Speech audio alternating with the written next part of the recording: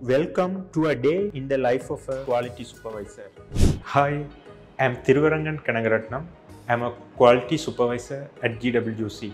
A typical day for me involves conducting process reviews, audits, inspections, customer visits, employee training when required. We handle around 50 customer visits and audits per month, especially with the upcoming FIFA World Cup. With multiple ISO certifications, GWC continues to have a competitive edge in its management systems. Since my key role at GWC is continuously improving the quality in warehouse operations, I help in identifying gaps and devise solutions.